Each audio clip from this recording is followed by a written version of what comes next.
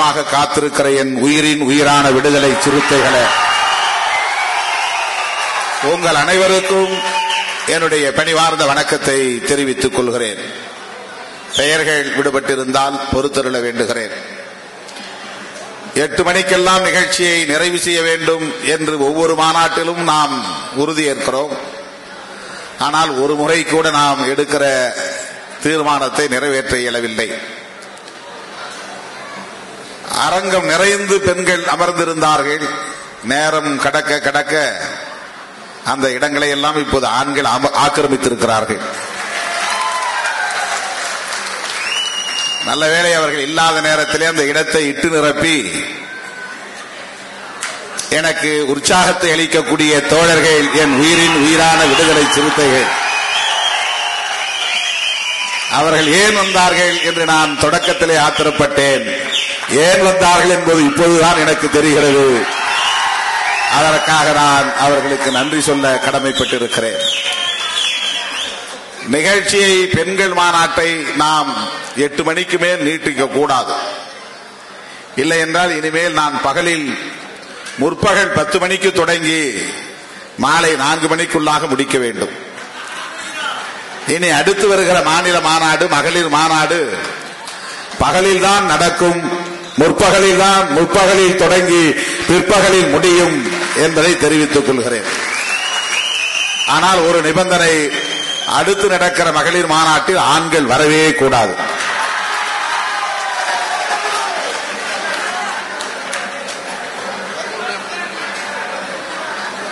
தருமபுரி மாநாட்டிலும் கூட அதே வேண்டுகோளைத்தான் வைத்தேன். பெண்கள் இன்னும் இன்னும் அணிதிரள வேண்டும். அரங்கம் நிறைய வேண்டும். பெண்களே ஒன்று கூடி தீர்மானித்து மாநாடுகளை வெற்றிகரமாக நடத்த வேண்டும். தீர்மானங்களை பெண்களே எழுத வேண்டும். இதுதான் நம்முடைய எதிர்பார்ப்பு. ஆகவே இப்போது தொடர்ச்சியாக நாம் ஆண்டுதோறும் ஒரு மாநாடு. மது ஒழிப்புக்கு தேசிய அளவிலே சட்டம் இயற்ற வேண்டும் என்று நாம் ஒரு மாநாடு நடத்தினோம். ஆணவ கொலைகளை தடுப்பதற்கு சட்டம் இயற்ற வேண்டும் என்று ஒரு மாநாடு நடத்தினோம்.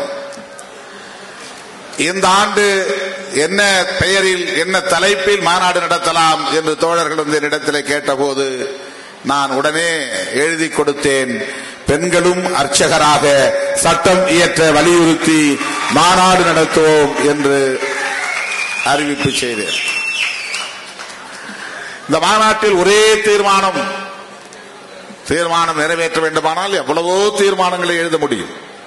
அதுவும் மகளிர் மாநாட்டுக்கு தீர்மானம் எழுத ஏராளமான பிரச்சனைகள் இருக்கின்றன தேவைகள் இருக்கின்றன அதற்கான அடிப்படைகள் இருக்கின்றன. அப்படி ஏராளமான தீர்மானங்களை நிறைவேற்றி இத்தனை தீர்மானங்களை நிறைவேற்றணும் என்பதை விட ஒரே தீர்மானம் பெண்களை அர்ச்சகராக்கக்கூடிய வகையில் அரசு சட்டம் இயற்ற வேண்டும். அதுதான் தீர்மானம். அதற்கான விளக்கங்களை இந்த தீர்மானத்திலே நாம் விவரித்திருக்கிறோம். இந்த தீர்மானங்கள் எல்லாம் அரசின் கவனத்திற்கு செல்லுமா? அவர்களின் செவிக்கு எட்டுமா? விடுதலை சிறுத்தைகளின் மகளிர் அணியினர் இப்படி ஒரு தீர்மானம் நிறைவேற்றியிருக்கிறார்களே. அந்த தீர்மானத்தை நாம் பரிசீலிக்கலாமா என்று ஆட்சியாளர்கள் யோசிப்பார்களா என்றெல்லாம் நமக்கு கேள்விகள் எழும். நாம் மாநாடு போடுவது ஆட்சியாளர்களின் கவனத்திற்கு கொண்டு செல்வதற்காக மட்டுமல்ல நம்மை நாமே அரசியல் படுத்திக் கொள்வதற்காக என்பதை நீங்கள் நெஞ்சிலே இருத்த வேண்டும். இந்த மாநாட்டில் வந்து பங்கேற்ற உங்கள் அனைவருக்கும் இது ஒரு அரசியல் வகுப்பு. இந்த மாநாட்டில் பேசிய அத்தனை பேரும் பல்வேறு தளங்களில் பெண்ணுரிமைகளை பேசினாலும் பண்பாட்டு தளத்தில் பெண்களுக்கான உரிமை என்ன என்பதை மையப்படுத்துகிற மாநாடுதான் இந்த மாநாடு. அதிலும் குறிப்பாக கோவிலின் கருவறைக்குள்ளே பெண்கள் நின்று பூஜை செய்ய உரிமை வேண்டும். அதுதான் நம்முடைய கோரிக்கை. ஏன் செய்யக்கூடாது? பெண்களின் பிரச்சனைகளை சரி செய்வதற்காக எல்லா துறைகளிலும் பெண்கள் நியமிக்கப்படுகிறார்கள். போலீஸில் பெண்கள் இருக்கிறார்கள் பெண்களின் பிரச்சனைகளை பேசுவதற்காக. கோவில்களில் ஏராளமான பெண்கள் வழிபாடு செய்ய போகிறார்கள். ஆண்களை விட பெண்கள் தான் உண்மையான பக்தியோடு போகிறார்கள். அவர்களுக்கு ஒரு நம்பிக்கை. எப்படியும் தெய்வம் நம்மை காப்பாற்றும் நம் குடும்பத்தை காப்பாற்றும். என்ற நம்பிக்கை ஆண்களை விட பெண்களுக்கு உண்டு. ஆண்களுக்கு தெரியும் கடவுள் இல்லை என்பது. அதனால் அவர்களுக்கு போலியான ஒரு நம்பிக்கை. அதனால்தான் எல்லா குற்றங்களையும் துணிந்து செய்கிறார்கள். கருவறைக்குள்ளேயே குற்றம் செய்கிறான் காஞ்சிபுரத்திலே ஒருவர். வழிபாடு செய்ய வருகிற பெண்களிடத்திலே அவன் தவறாக நடந்தது. சிசிடிவி கேமராவில் பதிவாகி வெளியாகிவிட்டது. ஆனா அவனுக்கு தெரிகிறது அந்த கருவறைக்குள்ளே கடவுள் இல்லை என்பது. அதனால்தான் அந்த இடத்திலே அந்த குற்றத்தை அவனால் செய்ய முடிகிறது. ஆனால் பெண்களுக்கு இன்னும் நம்பிக்கை இருக்கிறது. அந்த குற்றத்தை அவன் செய்கிற போது கூட அந்த பெண் என்ன நினைத்து செய்திருப்பாள் என்றால் இவனோடு இப்படி நாம் உடன்பிடுவது தெய்வ கடாட்சம் என்று நினைத்திருப்பார் தெய்வ நம்பிக்கை அது. பெண்ணுக்கு அப்படி ஒரு தெய்வ நம்பிக்கை இருக்கிறது. ஏனென்றால் பூசாரியே நம்மை கட்டாயப்படுத்துகிறார். நாம் மீறக்கூடாது. மீறினால் தெய்வம் தண்டித்து விடும் என்று கூட பெண் நினைத்திருக்க கூடும்.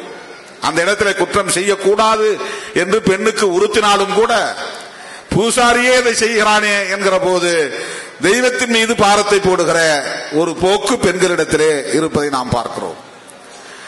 ஆகவே பெண்களுக்கு அதிகமான கடவுள் நம்பிக்கை இருக்கிற சூழலில் அவர்கள் அதிகம் கோவில்களுக்கு வருகிற நிலையில் அங்கே பூஜை செய்கிற இடத்தில் பெண் இருந்தால் தானே?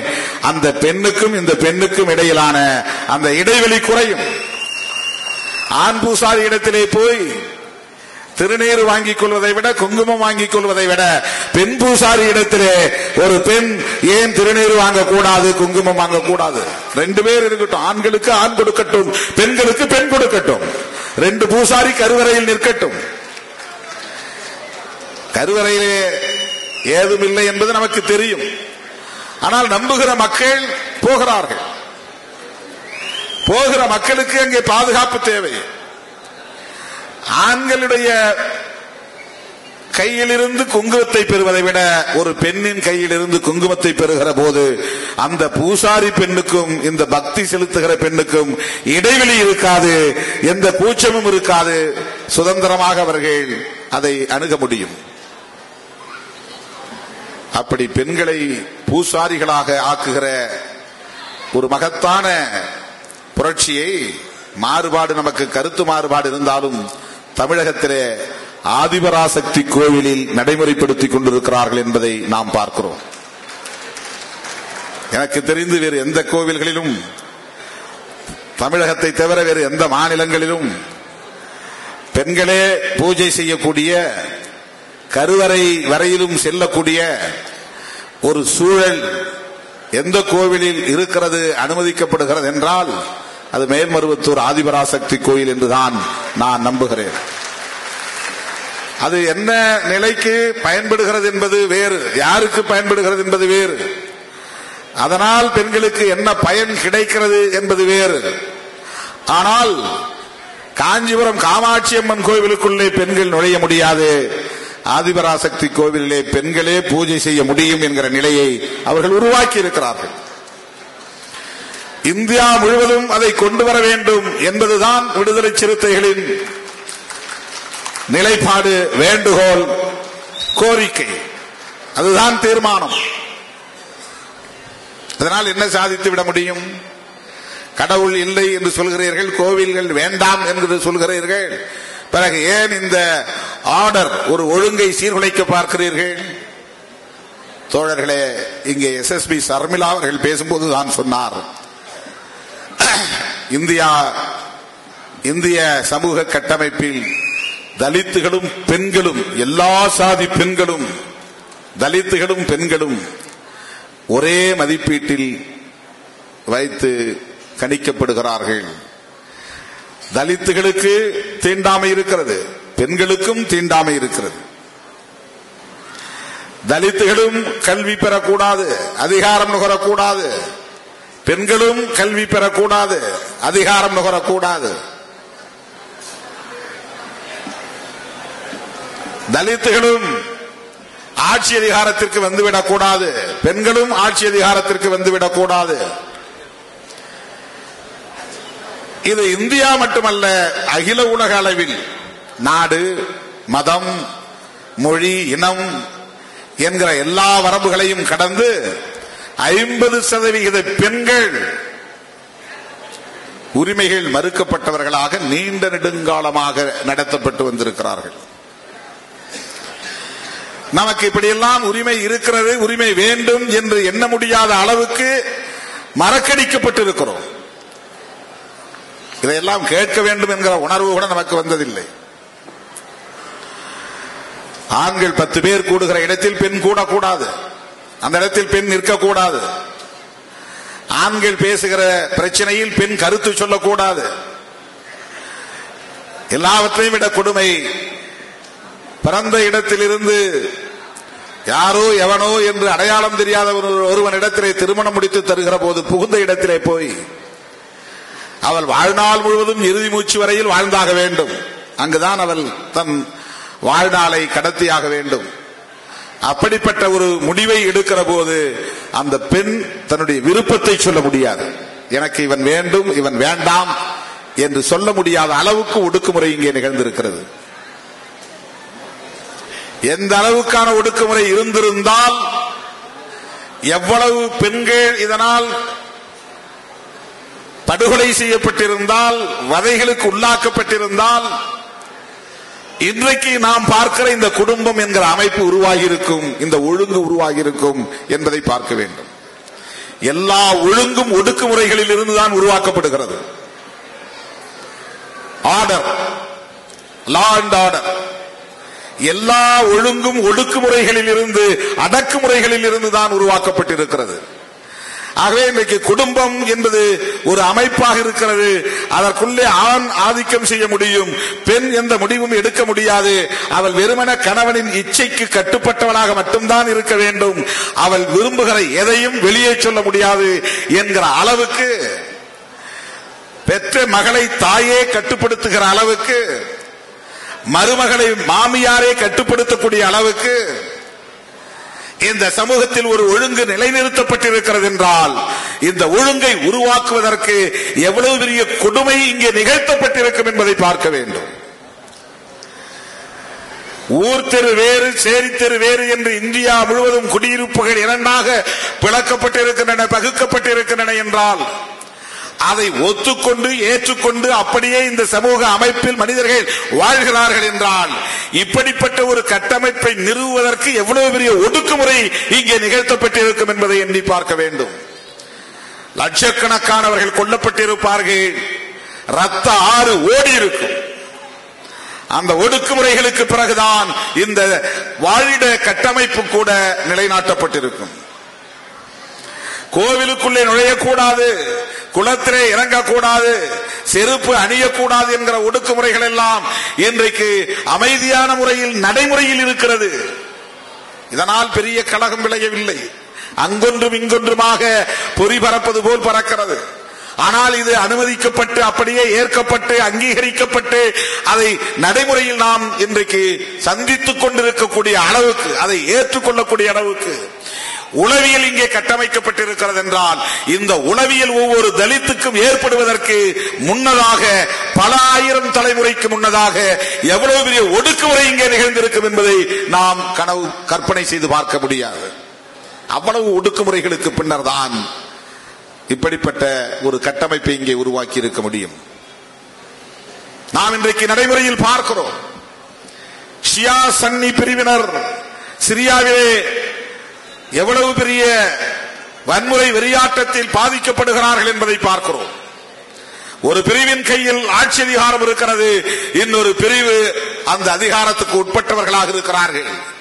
ஆட்சி அதிகாரத்தில் இருப்பவர்கள் மிக கொடூரமாக ஈவிரக்கமின்றி பிஞ்சு குழந்தைகளையும் கொலை செய்வதை நாம் பார்க்கிறோம். தோழர்களே இதை அப்படியே நீங்கள் கற்பனை செய்து பார்த்தால் ஈராயிரம் ஆண்டுகளுக்கு முன்னால் இந்த ஒடுக்கப்பட்டவர்களுக்கு எதிராக இப்படிப்பட்ட ஒடுக்குமுறை தான் நிகழ்ந்திருக்கும். பல்லாயிரக்கணக்கான லட்சக்கணக்கான பிஞ்சு குழந்தைகள் கொல்லப்பட்டிருப்பார்கள். குடியிருப்புகள் கொளுத்தப்பட்டிருக்கும். பெண்கள் மிக கொடூரமான முறையிலே பாலியல் வன்புணர்ச்சிகளுக்கு ஆளாக்கப்பட்டிருப்பார்கள். வதை செய்து கொல்லப்பட்டிருப்பார்கள். பெண்கள் சிந்திய ரத்தம் அந்த ஒடுக்குமுறையில் இந்த மண்ணை சிவப்பாக்கி இருக்கும் அப்படிப்பட்ட ஒடுக்குமுறைகளின் பின்னால் உருவாகி இருக்கிற அமைதிதான் இன்றைக்கு நாம் பார்க்கிற அமைதி. அப்படிப்பட்ட ரத்தம் சிந்துதலுக்கு பிறகு உருவாக்கப்பட்டிருக்கிற அமைப்பு தான் இன்றைக்கு நாம் பார்க்கிற ஊர் தெரு சேரி தெரு என்கிற வாழிட கட்டமைப்பு. அப்படிப்பட்ட ஒடுக்குமுறைகளுக்கு பிறகு கட்டமைக்கப்பட்டதுதான் இந்த குடும்பம் என்கிற அமைப்பு. இந்த குடும்பத்திற்குள்ளே இன்றைக்கு நாம் அலங்கார பொம்மைகளாக ஆக்கப்பட்டிருக்கிறோம். காதுக்கும் மூக்குக்கும் தங்கரகை போட்டால் கூந்தலை வாரி பூ வைத்துக் கொண்டால் நெற்றியில் அழகிய திலகமிட்டுக் கொண்டால் பளபளப்பு பட்டாடையை உடுத்திக் கொண்டால் போதும். அதுவே நமக்கு மகிழ்ச்சி என்று எண்ணுகிற அளவுக்கு பெண்களின் உளவியல் கட்டமைக்கப்பட்டிருக்கிறது. பெண்ணுக்கு அதற்கு மேல் எந்த ஆசையும் இல்லை. கணவன் விரும்பியதை செய்தால் போதும். அது நமக்கு பாக்கியம் புண்ணியம். எல்லா பெண்ணும் என்ன நினைக்கிறாள்? சுமங்கலியாக நான் போய் சேர வேண்டும். அதற்கு என்ன பொருள்? சுமங்கலியாக நான் போய் சேர வேண்டும். கணவனுக்கு முன்னதாகவே நான் இறந்து விட வேண்டும். கணவன் இருக்கும் போதே மனைவி இறந்து விட வேண்டும் என்று ஒவ்வொரு மனைவியும் விரும்புகிற நிலை இந்த இந்துத்துவ சமூக கட்டமைப்பில் இருக்கிறது. கணவன் இறந்த பிறகு இவள் விதவையாக தாலி அறுத்தவளாக வெள்ளை உடை உடுத்தியவளாக நகை நட்டு அணியாதவளாக பூவை விரும்பாதவளாக பொட்டை சூடாதவளாக அலங்கோலமாக வாழ்ந்து அவள் மடிய வேண்டும் என்கிற நிலை இந்த சமூக கட்டமைப்பில் நிலைநாட்டப்பட்டிருக்கிறது. ஆகவே பெண் என்ன விரும்புகிறாள் என்றால் கணவன் உயிரோடு இருக்கும் போதே நான் மாண்டுவிட வேண்டும். சுமங்கலியாக வாழ வேண்டும். சுமங்கலியாக நான் போய் சேர வேண்டும் என்று எண்ணுகிற அந்த உளவியல் இருக்கிறதே அது ஒரு ஒடுக்குமுறையின் விளைச்சல் அது. கொடூரமான தாக்குதல்களில் இருந்து நிறுவப்பட்ட ஒன்று. நீண்ட நெடுங்காலமாக அது போதனைகளின் மூலமாக பயிற்சிகளின் மூலமாக அது அப்படியே கட்டி காப்பாற்றப்பட்டு வருகிறது. தொடர் ஓவியா கேட்டாரே மாதவிடாய் காலத்தில் வருகிற கழிவு மட்டும்தான் தீட்டு என்றால் நாள்தோறும் ஆணாயிருந்தாலும் பெண்ணாயிருந்தாலும் மனஜலம் கழிக்கிறது இயற்கை தானே அது தீட்டு இல்லையா என்று கேட்டார். ஒவ்வொன்றுக்குள்ளும் ஒரு நுட்பமான அரசியல் இருக்கிறது. ஒவ்வொன்றுக்குள்ளும் நுட்பமான ஒரு கோட்பாடு இருக்கிறது. பெண்கள் ஆண்களின் கட்டுப்பாட்டை மீறி போனால் இந்த குடும்பம் என்கிற அமைப்பு நொறுங்கி போகும். தந்தை பெரியார் அதனால்தான் உடையில் கூட மாற்றம் கூடாது என்றார். ஏன் ஆணுக்கு ஒரு உடை பெண்ணுக்கு ஒரு உடை? தொலைவில் இருந்து பார்த்தால் அவள் ஆணா பெண்ணா என்று தெரிந்து கொள்ள முடியாத அளவிலே ஆணை போல் பெண்ணும் உடுத்த வேண்டும் என்று சொன்னவர் தந்தை பெரியார் அவர்கள். சமூகத்தை சீர்குலைக்கிறார் என்று மதவெறியர்கள் அதனால்தான் கவலைப்படுகிறார்கள். உலகம் முழுவதும் பெண்களை ஒரு போக பொருளாக பார்க்கிற ஒரு கமாடிட்டியாக பார்க்கிற பெண்ணுக்கு அன்பு உண்டு கருணை உண்டு கோபம் உண்டு இரக்கம் உண்டு என்கிற உணர்ச்சிகளை பற்றி கவலைப்படாமல் நீண்ட நெடுங்காலமாக கல்வி மறுக்கப்பட்டது. பேய் பிசாசு நம்பிக்கை அதிகம் பெண்களிடம்தான் உண்டு.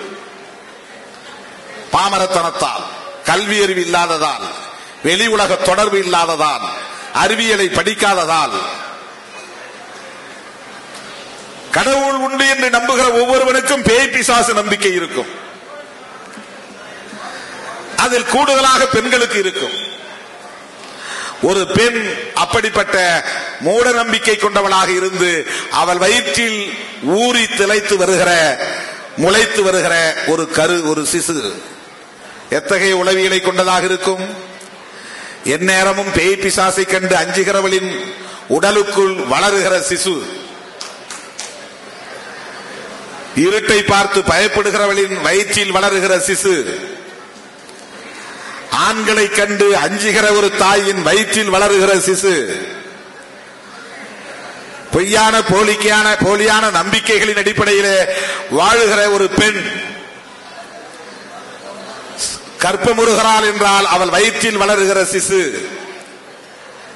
எப்படி வளரும்? படித்தவளாய் அறிவியல் உலகத்தை அறிந்தவளாய் மூட நம்பிக்கை இல்லாதவளாய் துணிச்சல் நிறைந்தவளாய் ஒரு தாய் இருந்தால் அந்த தாய்க்கு பிறக்கிற குழந்தை அதே உணர்வோடு அந்த உளவியலோடு பிறக்கும். மானுடத்தின் முதல் பிரைமரி டீச்சர் யூகேஜி எல்கேஜியில் படித்து தருகிற ஆசிரியை அல்ல அம்மாதான் பிரைமரி டீச்சர் குழந்தை பிறந்ததும் தாய்மொழியை சொல்லித் தருகிறவள் தாய் அம்மா. தந்தையை இவன்தான் உன் தகப்பன் என்று அடையாளம் காட்டுகிறவள் தாய். இதுதான் நிலா என்று சொல்லித் தருகிறவள் தாய். அன்பை பொழிபவள் மட்டுமல்ல உலகத்தை கற்றுத் தருகிற ஆசிரியரும் தாய்தான். அவள் படித்திருந்தாலும் படிக்காவிட்டாலும். ஆனால் அவள் படித்தவளாயிருந்து பகுத்தறிவு உள்ளவளாய் இருந்து துணிச்சல் மிக்கவளாய் இருந்து அவள் வயிற்றில் ஒரு சிசு வளருமே ஆனால் பிறந்த குழந்தையை அந்த தாய் வளர்ப்பாளே ஆனால் அந்த குழந்தையின் உள்ளத்தில் ஒரு காலும் அச்சம் என்பது அண்டாது அண்டாது அச்சம் என்கிற சொல் அவளுக்கு அவனுக்கு போய் சேராது. ஆனால் இன்றைக்கு நம்முடைய தாய்மார்கள் என்ன சொல்வார்கள்? அங்க போகாத. இங்க போகாத. பேய் பிசாசு அந்த மரத்தில் இருக்கு என்றெல்லாம் சொல்லக்கூடிய நிலை. தாயே தன் குழந்தைக்கு பயத்தை ஊட்டி வளர்க்கிறார் வீரத்தை ஊட்ட வேண்டிய தாய். இதற்கெல்லாம் காரணம் இந்த சமூகம். இப்படி ஒடுக்குமுறைக்குள்ளாகி இருப்பதற்கு காரணம் பெண்களின் கல்வி மறுக்கப்பட்டதுதான்.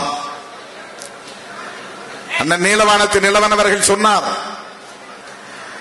கல்விக்கென்று ஒரு கடவுள் சரஸ்வதி. ஆனால் பெண்கள் படிக்க முடியவில்லை. சரஸ்வதி தான் அங்கே அதிகாரத்தில் இருக்கிறார்.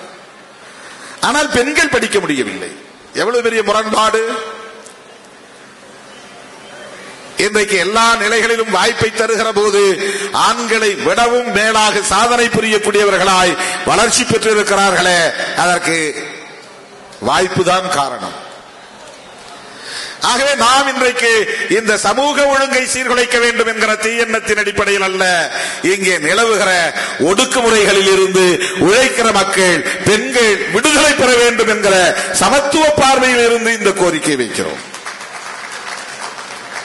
மனிதன் ஒவ்வொரு தளத்திலும் ஒவ்வொரு துறையிலும் புதிய புதிய கண்டுபிடிப்புகள். அறிவியலில் தொழில்நுட்பத்தில் வரலாற்றில் இலக்கியத்தில் புதிய புதிய அணுகுமுறைகளை உத்திகளை கண்டுபிடிப்பதை போல அரசியலில் மனிதன் கண்டுபிடித்த மிக முக்கியமான தலையாய புரட்சிகரமான கண்டுபிடிப்பு ஜனநாயகம் என்கிற கோட்பாடு. ஜனநாயகம் என்கிற கோட்பாடு. அது ஒரு கண்டுபிடிப்பு. அது ஒரு இன்வென்ஷன் அதுதான் இன்றைக்கு திருமாவளவனை பேச வைக்கிறது. அதுதான் இன்றைக்கு மகளிர் மாநாடு நடத்துவதற்கு காரணமாக அமைகிறது. அதுதான் உலகம் முழுவதும் விளிம்பு நிலை மக்கள் உரத்து குரல் எழுப்புவதற்கான வாய்ப்பை உருவாக்கி தருகிறது. ஜனநாயகம் என்கிற சிந்தனை தான்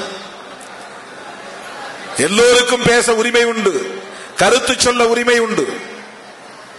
விமர்சிக்கும் உரிமை உண்டு. கல்வி கற்க உரிமை உண்டு. சொத்திலே உரிமை உண்டு. அதிகாரத்திலே உரிமை உண்டு. இவற்றை வலுவாக பேசுவது உரத்து பேசுவது அதற்கான தளத்தை அமைத்து தருவது ஜனநாயகம் என்கிற கோட்பாடு. அந்த ஜனநாயகத்தை புரிந்து கொண்டதால் தான் அந்த உணர்வை பெற்றதால் தான் மக்கள் தொகையில் சரிபாதியாக இருக்கிற பெண்களுக்கு ஐம்பது விழுக்காடு இடஒதுக்கீடு வேண்டும் என்று விடுதலை சிறுத்தைகள் தீர்மானம் நிறைவேற்றுகிறோம். அந்த முப்பத்தி மூன்று சதவீதம் என்பதை எவன் கண்டுபிடித்தான் என்று தெரியவில்லை. அதற்கு என்ன பார்முலா என்றும் தெரியவில்லை. பெண்களுக்கு முப்பத்தி மூன்று சதவீதம் என்பது எப்படி வரை- வரையறுக்கப்பட்டது என்று இதுவரையில் எனக்கு தெரியவில்லை. மக்கள் தொகை அடிப்படையில் இடஒதுக்கீடு கேட்கிறோம். இருபத்தைந்து விழுக்காடு தலித்துகள் இருக்கிறார்கள் என்றால் எல்லா துறைகளிலும் இருபத்தைந்து விழுக்காடு இடஒதுக்கீடு வேண்டும் என்கிறோம். அப்படி என்றால் மக்கள் தொகையில் உலகம் முழுவதும் சரிபாதியாக இருப்பவர்கள் பெண்கள். ஏன் ஐம்பது விழுக்காடு கொடுக்க கூடாது? இன்றைக்கு தகுதியானவர்கள் இல்லாமல் இருக்கலாம். இந்த கோரிக்கை தொடர்ந்து எழுப்பப்பட்டால் தகுதியானவர்கள் வருகிற போது ஐம்பது விழுக்காடு நிறைவேற்றப்படும். நான் அடிக்கடி சொல்லுவேன்.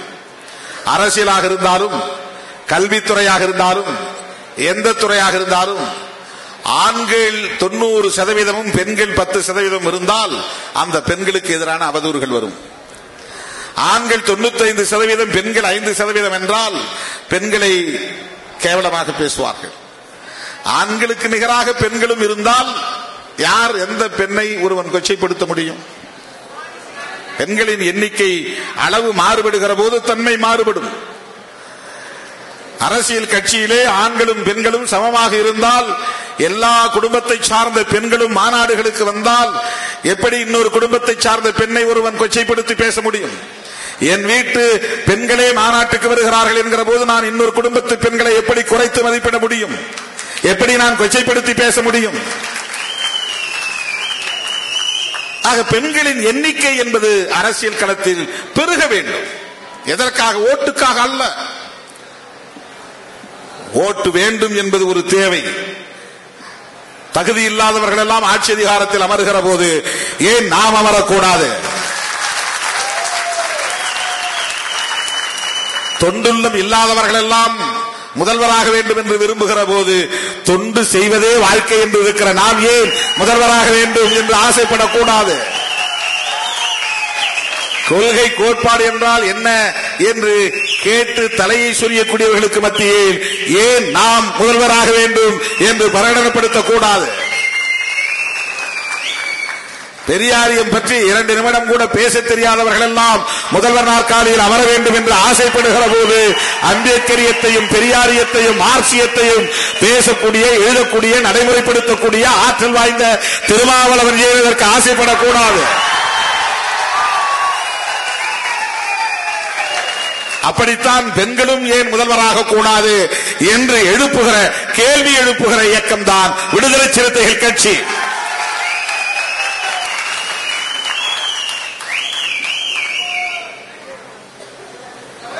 நாம் எல்லாம் நமக்கான ரோல் மாடல் முன்மாதிரி. நடிகர் ரஜினிகாந்த் அவர்களுக்கும் நடிகர் கமல்ஹாசன் அவர்களுக்கும் எம்ஜிஆர் தான் ரோல் மாடல் அவர் ஆட்சிக்கு வரவில்லையா? அவர் கதாநாயகராக நடித்தார். அவர் என்ன போராட்டங்களை செய்தாரா? மாநாடுகளை நடத்தினாரா? விடுதலை போராட்டத்தில் ஈடுபட்டாரா? தியாகம் செய்தாரா? சிறைச்சாலைக்கு சென்றாரா? காமராஜரை போல கக்கனை போல திரைப்படங்களில் நடித்தார் செல்வாக்கு பெற்றார் உடனே கட்சியை ஆரம்பித்தார் ஐந்தாண்டுகளில் முதலமைச்சராகிவிட்டார். தமிழ்நாட்டு மக்களிடத்திலே சினிமா கவர்ச்சி நல்ல சரக்கு விலை போகும் சரக்கு. வேறு எந்த மாநிலத்திலும் சினிமா கவர்ச்சியை கொண்டு போய் சந்தை பொருளாக்க முடியாது. தமிழ்நாட்டில் அந்த சினிமா கவர்ச்சிக்கு நல்ல சந்தை அமைந்திருக்கிறது.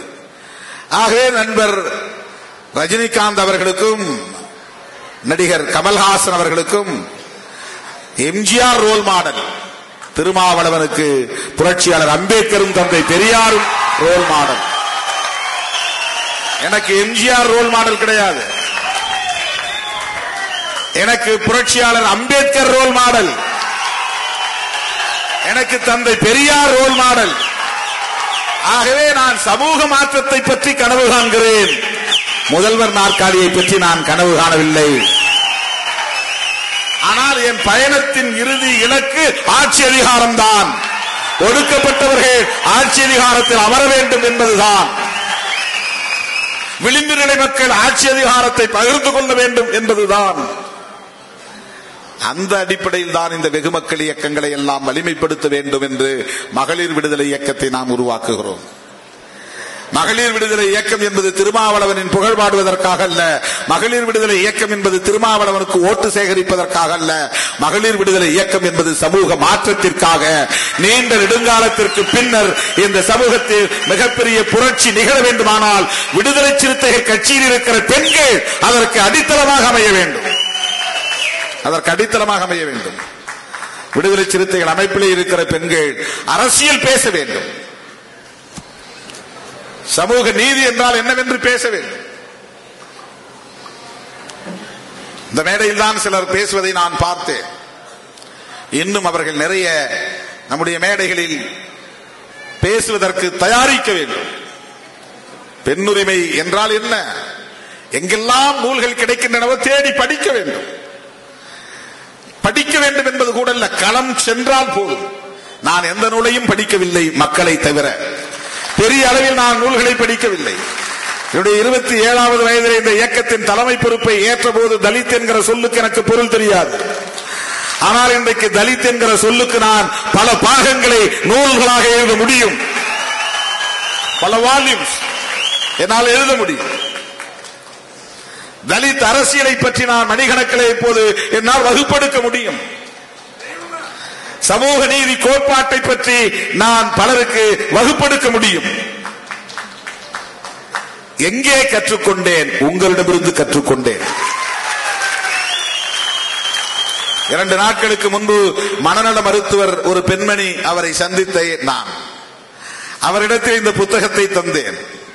அவர் புரட்டிக் கொண்டே வந்தார். தலைப்புகளை பார்த்து படித்துக் கொண்டே வந்தார். நாற்பதாவது அத்தியாயத்தை புரட்டினார். திடீரென்று பாதிக்கு மேல் புரட்டுகிறாரே என்று நான் கவனித்துக் கொண்டே இருந்தேன். அதில் ஒரு பக்கம் படித்துவிட்டு தலை நிமிர்ந்து என்னை பார்த்து சொன்னார் சார் உண்மையை சொல்லுங்க. இதையெல்லாம் எங்க படிச்சு எழுதுனீங்கன்னு கேட்டார். ஏன்? என்ன விஷயம் என்ன? இதெல்லாம் வந்து உளவியல் சம்பந்தமான தகவல்களாக இருக்கின்றன. எங்களாலே இப்படி எழுத முடியாதுன்னு சொன்னாங்க. நான் எந்த புத்தகத்தையும் படிக்கல. உண்மையை சொல்லுங்க ஏதாவது புத்தகங்களை படிச்சீங்களா? நான் எழுதுறதே வந்து வண்டியில பயணம் பண்ணிட்டு தான் எழுதுறேன். நான் படிச்சு ரெஃபர் பண்ணி எழுதல. என்ன எங்க படிக்க விடுறாங்க எங்க பசங்க? எந்த நேரம் பார்த்தாலும் சுரண்டிக்கிட்டே புரண்டிக்கிட்டே இருக்கிறாங்க. உரசிக்கிட்டே நிக்கிறாங்க. இந்த பக்கம் ஒருத்தன் இந்த பக்கம் ஒருத்தன் பின்னால ஒருத்தன் இண்டு இடுக்கு சந்து பொந்து எது கிடைச்சாலும் வந்து நின்னுக்கிறாங்க. நான் எங்க படிக்கிறது? விடியற்கால ஏழு மணிக்கு ஆரம்பிச்சா ராத்திரி ஒன்றரை மணி வரையிலும் நான் சூழ்நிலையின் கைதிதான். ரெண்டு டு ஆறு தான் எனக்கான நேரம். அதுல என்னால சரியா தூங்க முடியறது இல்ல எங்க படிக்கிறது? எப்படி சார் எழுதுனீங்க? மக்களிடத்தில் நான் கற்றுக்கொண்டேன். மக்களை கவனித்தேன். இயக்க தோழர்களை கவனித்தேன். அதிலிருந்து நான் எதை உள்வாங்கிக் கொண்டேனோ அதை பதிவு செய்திருக்கிறேன். இது அறிவியல் ரீதியாக சரியா தவறா எனக்கு தெரியாது. நான் எழுதியிருக்கிற இந்த கட்டுரைகள் அரசியல் ரீதியாக சரி என்று எனக்கு தெரியும். அறிவியல் ரீதியாக சரியா தவறா எனக்கு தெரியாது. இது மக்களிடமிருந்து நான் கற்றுக்கொண்டவை. எதற்காக சொல்லுகிறேன் என்று சொன்னால் பெண்கள் அல்லது இளைஞர்கள் நீங்கள் அரசியலை கற்றுக்கொள்ள வேண்டும் என்றால் மக்களை சந்தியுங்கள். மக்களுக்கான தேவைகளில் இருந்து மக்களுக்கான போராட்டங்களை கட்டமையுங்க வெறுமென திருமாவளவன் இந்த பார்த்து ஒரு போஸ்டிங் வாங்கி விசிட்டிங் கார்டு அச்சடித்து விட்டால் அதற்கு பெயர் அரசு- அரசியல் பணி அல்ல. நீங்கள் இருக்கிற பகுதிகளில் நாங்கள் இருக்கிறோம் என்கிற அடையாளத்தை முதலில் நிறுவுங்கள். ஒவ்வொரு கிராமத்திலும் சிறுத்தைகளின் கொடி பறக்க வேண்டும். கம்பீரமான கொடிக்கம்பமாக அமைய வேண்டும். எந்த பக்கம் திரும்பினாலும் சிறுத்தைகள் இருக்கிறார்கள் என்பதை சாதி வெறியர்களும் மத வெறியர்களும் புரிந்து கொள்ள வேண்டும் அச்சப்பட வேண்டும். மறுசீரமைப்பு தொடங்கிய நாளில் இருந்து தொடர்ந்து சொல்லி வருகிறேன். உன்னுடைய சொந்த பந்தங்கள் இருக்கிற கிராமங்களில் போய் அவர்களை பார்த்தாவது நாலு பேர் உனக்கு கிடைக்க மாட்டானா? அந்த கிராமத்தில் ஏன் கிளை இல்லை? உனக்கே அந்த உறுத்தல் வர வேண்டும் உணர்ச்சி வர வேண்டும். நீ மட்டுமே திருமாவளவனை வந்து பார்த்தால் போதும். சொந்த பந்தங்கள் எல்லாம் நடிகர்களின் பின்னால் போகட்டும் என்று விட்டால் அதற்கு பெயர் துண்டு அல்ல அரசியல் பணி அல்ல. அரசியல் படுத்த வேண்டும். அனைவரையும் அரசியல் படுத்த வேண்டும். அனைவரும் பெரியாரை தெரிந்து கொள்ள வேண்டும் அம்பேத்கரை தெரிந்து கொள்ள வேண்டும். நான் அம்பேத்கரை பார்ப்பதற்கும் மற்ற அம்பேத்கர் இயக்கங்கள் அம்பேத்கரை பார்ப்பதற்குமே வேறுபாடு இருக்கிறது. மற்றவர்கள் வெறும் பிழைப்புவாதத்திற்காக அம்பேத்கரை பயன்படுத்துகிறார்கள். நான் அம்பேத்கரை ஒரு கோட்பாடாக பார்க்கிறேன். கோட்பாட்டு தலைவராக பார்க்கிறேன். அந்த வேறுபாட்டை விளக்க வேண்டுமானால் மணிகணக்கில் பேச வேண்டும். மணிகணக்கில் பேச வேண்டும். பெரியாரை நான் பார்க்கிறேன் என்றால் பெரியாரை வெறுமன ஒரு இயக்கத்தின் தலைவராக நான் பார்க்கவில்லை. ஒரு மா- மாபெரும் புரட்சியை இந்த மண்ணில் நிகழ்த்தி காட்டியவர். அவர் நினைத்திருந்தால் அவர் பெரிய கோடீஸ்வர குடும்பத்திலே பிறந்தவர். சாதி திமிரோடு அவரால் வாழ்ந்திருக்க முடியும். சாதி செருக்கோடு வாழ்ந்திருக்க முடியும். அப்படிப்பட்ட செருக்கு கொண்ட ஒரு சமூகத்தில் பிறந்தவர் தான் அவர். நிலபுலங்கள் உள்ள ஒரு சமூகம். அவர் ஒடுக்கப்பட்ட சமூகத்திலே பிறந்தவர் அல்ல. திருமாவளவனை போல அம்பேத்கரை போல. வறுமையான குடும்பத்தில் பிறந்தவர் அல்ல. நம்மை போல. அவ்வளவு இருந்தும் அவர் ஏன் இந்த அரசியலை கையில் எடுத்தார்? எந்த சந்தர்ப்பத்திலாவது அவர் ஊசலாட்டம் காட்டியிருக்கிறாரா? எம்எல்ஏ ஆக வேண்டும் எம்பி ஆக வேண்டும் பதவிக்கு வர வேண்டும் என்று? எந்த சந்தர்ப்பத்திலாவது? தொண்ணூத்தி நாலு தொண்ணூத்தி ஐந்து வயது வரையில் வாழ்ந்தார். அவரால் உருவானவர்கள் தான் பரிணாமம் அடைந்தவர்கள் தான் அண்ணா கலைஞர் போன்றவர்கள் எல்லாம். நம்மிடம் நம்முடைய பாசறையில் கற்றவர்கள் இன்றைக்கு புகழின் உச்சிக்கே போய்விட்டார்கள் ஆட்சி அதிகாரத்திற்கே போய்விட்டார்கள். நாம் இப்படி இருக்கிறோமே என்று என்றைக்காவது அவருக்கு மன உளைச்சல் வந்திருக்குமா? அண்ணாவை போல் நாம் ஏன் ஆட்சி அதிகாரத்திற்கு வரக்கூடாது? நம்மிடம் வளர்ந்தவனே ஆட்சி அதிகாரத்திற்கு வந்திருக்கிறான் என்கிற போது நம் பெயரை சொல்லி அவன் ஆட்சி அதிகாரத்திற்கு வந்திருக்கிறான் என்கிற போது நாம் ஏன் ஆட்சி அதிகாரத்திற்கு வரக்கூடாது என்று என்றைக்காவது அவர் எண்ணி பார்த்திருப்பாரா? அதுதான் தொண்டுள்ளம். பதவியை பற்றி ஆசைப்படாமல் பொருளாதார தேடல் இல்லாமல் இந்த ஒடுக்கப்பட்ட மக்கள் விளிம்பு நிலை மக்கள் தன்மானத்தோடு தலை நிமிர வேண்டும் என்பதற்காக தன்னுடைய இறுதி மூச்சு வரையில் பாடுபட்டாரே அந்த பாடுதான் தொண்டு. அதுதான் தொண்டுள்ளம். சமூக மாற்றத்திற்கான பார்வை. அப்படிப்பட்ட ஒரு மகத்தான புரட்சியாளரை புரட்சியாளர் அம்பேத்கர் என்கிற அந்த மகத்தான புரட்சியாளரை நம்முடைய கோட்பாட்டு ஆசான்களாக நாம் ஏற்றிருக்கிறோம் என்று சொன்னால் வெறுமன நாம் அவர்களின் புகழ் பாடுவதோடு நின்று விடாமல் அவர்கள் சொன்ன அரசியல் தான் என்ன என்பதை படிக்க வேண்டும். யோசித்து பாருங்கள் எவ்வளவு பேர் நூல் எழுதியிருக்கிறார்கள்.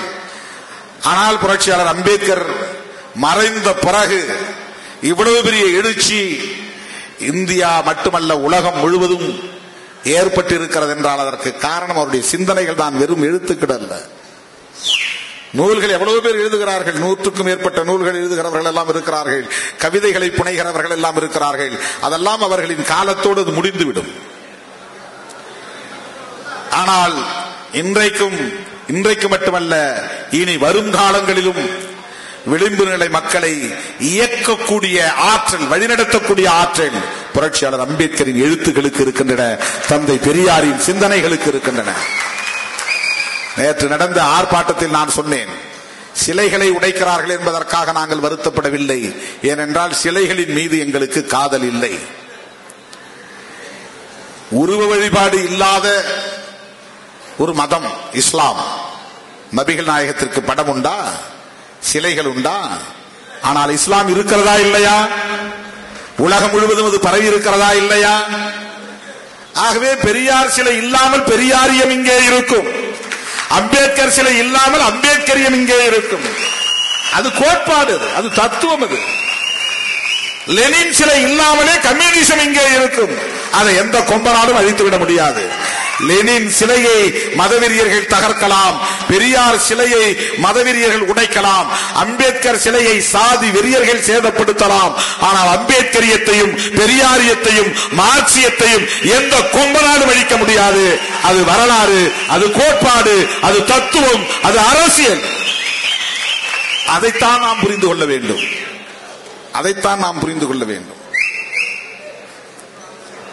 அதை புரிந்து கொள்வதற்கான ஒரு களம்தான் இந்த மாநாடு. இது எடப்பாடி பழனிசாமி அவர்களின் கவனத்திற்கு போகும் என்பதற்காக அல்ல. நாளைக்கே இந்த சட்டத்தை நிறைவேற்றப் போகிறார்கள் என்பதற்காக அல்ல. மகளிர் விடுதலை இயக்கத்தை சார்ந்த என் உயிரின் உயிரான விடுதலை சிறுத்தைகள் இந்த அரசியலை புரிந்து கொள்ள வேண்டும் என்பதற்காக கற்றுக்கொள்ள வேண்டும் என்பதற்காக இந்த மகத்தான மாநாடு இங்கே ஒருங்கிணைக்கப்பட்டது. இதனை வெற்றிகரமாக ஒருங்கிணைத்த நற்சோனை அவர்களுக்கு உடனிருந்து ஒத்துழைத்த ஆண்களாயிருக்கிற பெண்ணியவாதிகளுக்கும் பெண்களாய் இருக்கிற போராளிகளுக்கும் என்னுடைய நெஞ்சார்ந்த வாழ்த்துக்களையும் பாராட்டுகளையும் தெரிவித்து அனைவரும் பாதுகாப்பாக வீடு திரும்புங்கள் என்று கேட்டுக்கொண்டு வாய்ப்புக்கு நன்றி கூறி நிறைவு செய்கிறேன். நன்றி வணக்கம்.